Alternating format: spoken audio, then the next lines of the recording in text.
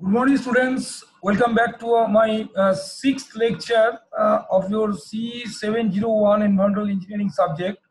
The topic again is the groundwater, continuing the last part. Today, now I am going to deliver it of the groundwater. Far, so far is my previous two lectures that was based on some numerical problems, deductions, concept, derivation of the formulas.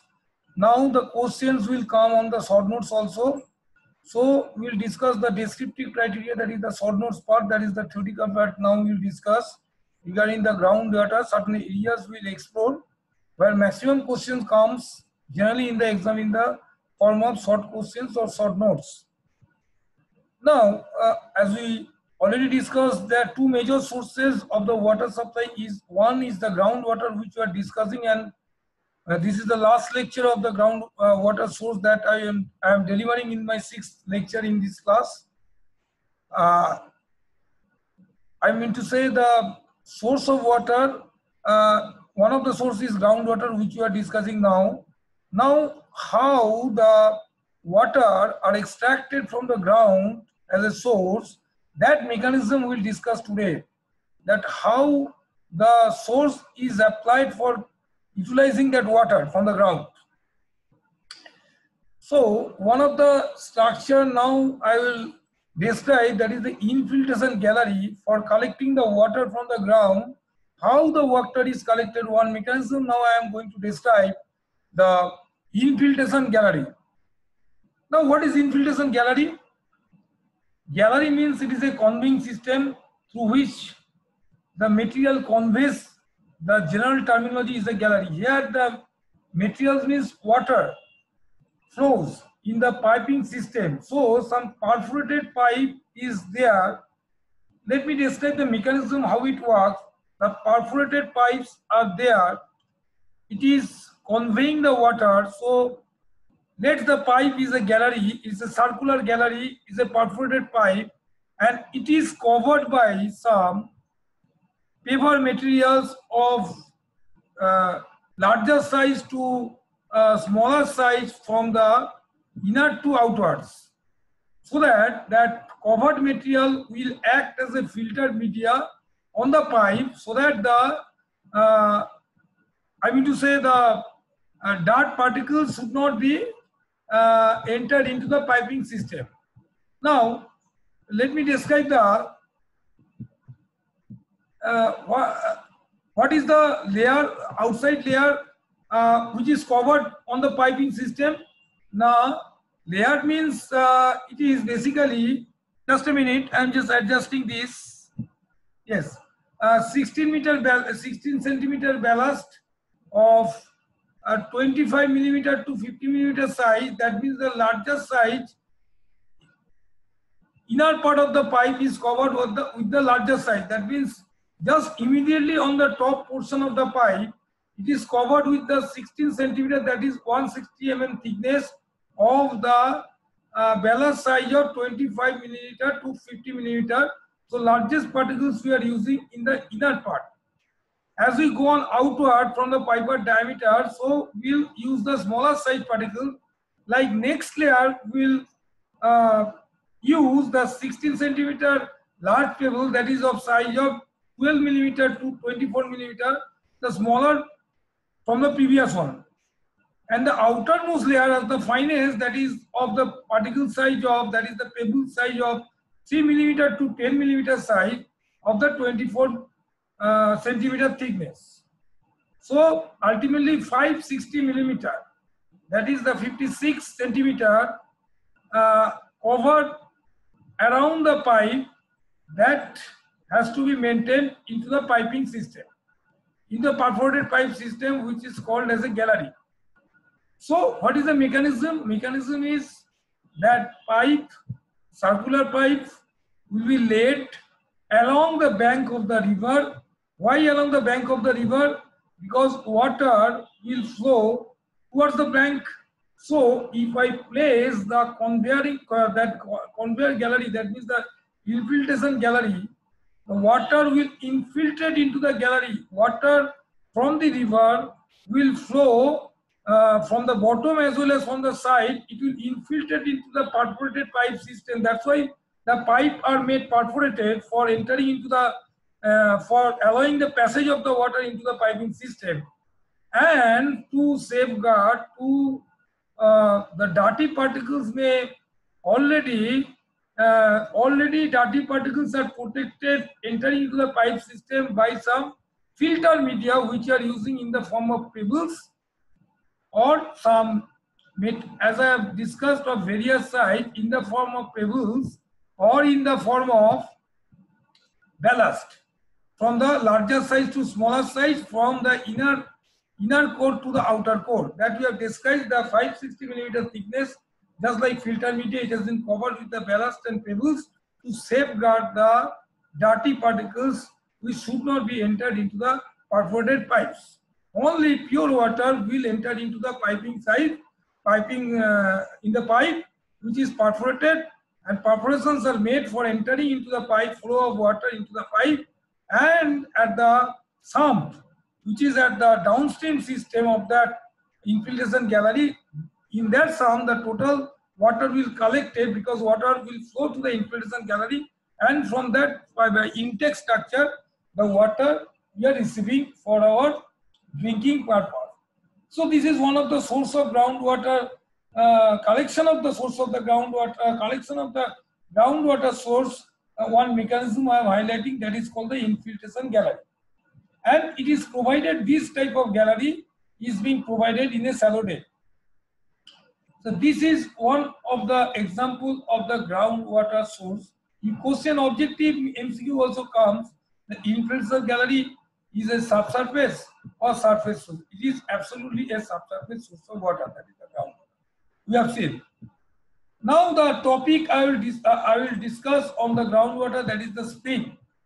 Naturally, when we are go to the excursion and see and enjoy the springs like Elephanta Spring, we apparently it is seen it is a surface flow, but it is not a surface flow. It is basically the groundwater flow in form of the surface. It is basically the groundwater flow in form of the surface uh, so that's why we can see in the surface, but ultimately it is a source of groundwater. So different due to different types of faults of the uh, terrain, rock, under uh, that the erosion of the soil, erosion of the faulty of the rock, and different configuration of the underground stratum, the water finds hindrance. I mean to say the underground water finds hindrance in flowing underground and it is emerged as a surface as a water which you can see but this is absolutely the uh, groundwater which is formed as a surface as a spring. Now let us describe the various forms of spring which is very very interesting and you can gather the knowledge from various springs. So many springs are there because stratum, stratum spring Overflow spring, contact spring are the synonymous, same thing. Here I am telling, now I am describing what is the stratum spring, what is the contact spring, what is the overflow spring. Both are, all are, all three terminology are same. You see, I have shown one figure that is the stratum spring in the right, rightmost point where you can observe that it is formed when the downward passage of groundwater in a permeable deposit is hindered, hindered, hindered. That means it is resisted by an underlaying impervious layer. So after the flowing of water in the permeable stratum, it finds an hindrance in flowing because some underlying impervious layer is there. So what will happen? The groundwater emerges as a spring. It will, because water cannot be resisted. By hook or by means, it will try to emerge. So water emerges as a spring at that contact. Which contact? Between the impervious and pervious layer, that contact. So it is also, also called the uh, contact spring also. As well as sometimes it is also called the overflow spring also as it overflows. So stratum spring, contact spring or overspring are due to the hindered or hindered by an underlying impervious layer in the pervious layer as we have seen in the figure. Now groundwater emerges as a spring at the contact of the formation and hence a spring is known as the contact spring. Another kind of stratum spring may arise at the junction of two formations where permeable beds deep beneath an impermeable cover. That means it forms as an artesian. That means it is in confined layer. That means if I say the permeable stratum is very deep beneath an impermeable stratum, impermeable cover, then also this type of spring will occur in this type of situation. See the another photograph, that is the artesian spring that I was discussing.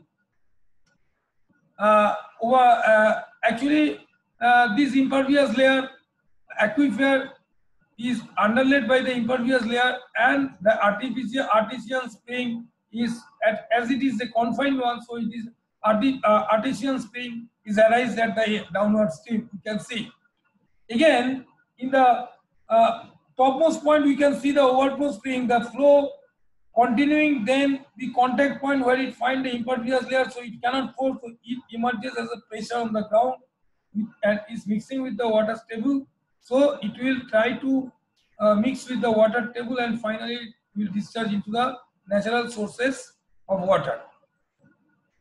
Very funny thing is a valley spring. Sometimes we are using what is valley spring. Let me show the above figure, then we will see the valley spring. Because you have to understand through the figure only how the formation of the spring.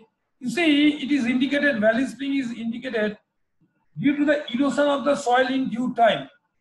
Water will flow at a level that level is constant that is the water level. Water will uh, flow with the water path.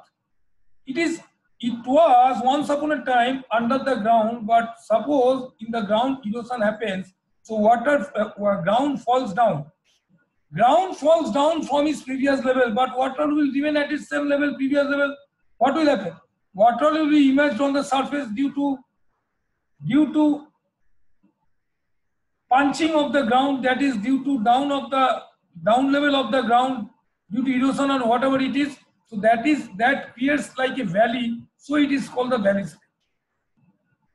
It appears as a valley. So a valley spring is due to the emergence of the water table where the topography falls below its level, such as such, uh, such as shown in the figure which I have shown to you, that water flows out at the surface and feeds the surface stream. So this is called the valley, valley stream. Last, I will describe the faulty spring, fault spring. What is that? Another spring is artesian spring, but let me describe the fault spring. Then last point, I will describe the artesian spring. Fault spring means, let me go to the figure first, then it will be very This is a fault spring.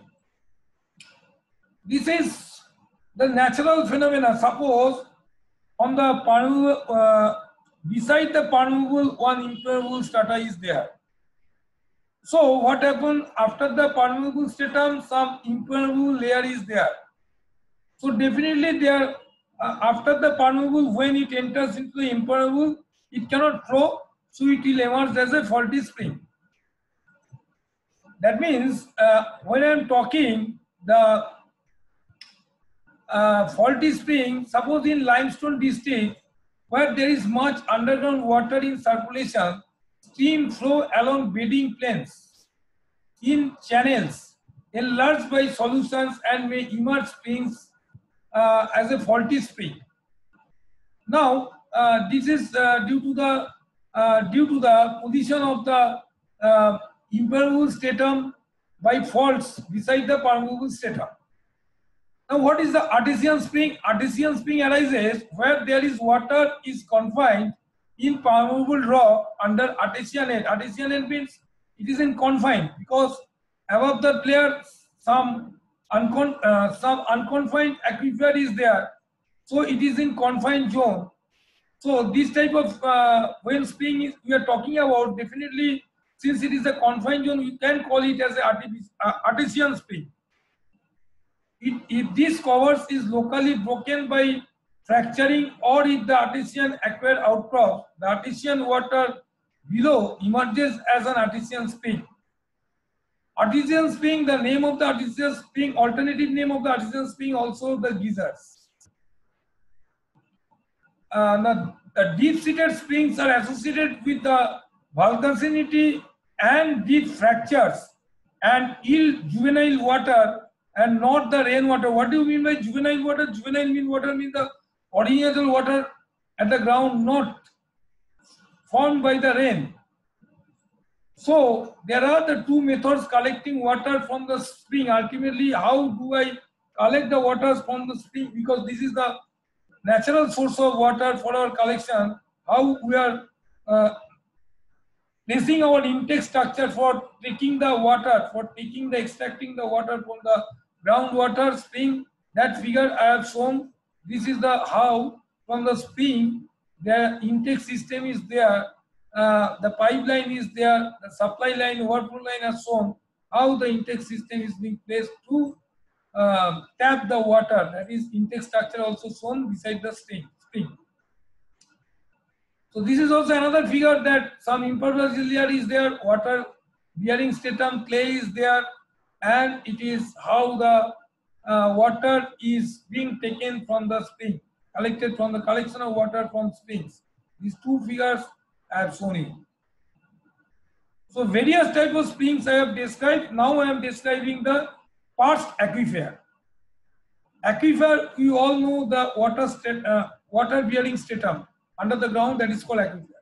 Now what is perched aquifer? It is a special type of unconfined aquifer. The objective question frequently comes from this topic. It is a special type of unconfined aquifer and occurs when why I am calling it is special type because here there are two types of ground level are occurring. Why two types of ground level? Now where the ground water body is separated from the main groundwater by a relatively impermeable stratum. You see, the top level, uh, the bottom water level is the main groundwater level. But between the, if you see the figure, I'm just describing, the bottom water level, that is the true water level under the ground. Now, in between the top of the, in between the ground level and the water level, you find on impermeable stratum is there, which is shown as a hatched line, and that stratum bears water. So definitely their perched water level, another water level is found apart from the water level. That is the temporary water table, which is defined as a perched water table or the portion of the perched aquifer. So this is formed, how this is formed? Now, when it occurs, a groundwater body is separated from the main water body by a relatively impermeable stratum of small aerial extent, which is shown by the hatched line and by the zone of the aeration above the main body of groundwater. So uh, by natural phenomena, some impermeable stratum has come. That's why the two different stratum of water level we can see at that particular zone and that is why it is called the perched aquifer and it is the level of the water contains, it is, is called the perched water level because it is slightly different from that water level. It is above the water level. So these questions may come on the uh, either in form of MCQ or short notes Short notes definitely every year comes in your exam. So these are the short questions I have, to, I have described. What are the infiltration gallery, different types of springs I have described, and the perched aquifer, these are the structures, the subsurface structures, that is the groundwater, from where we can get the uh, water as a source for our drinking purpose.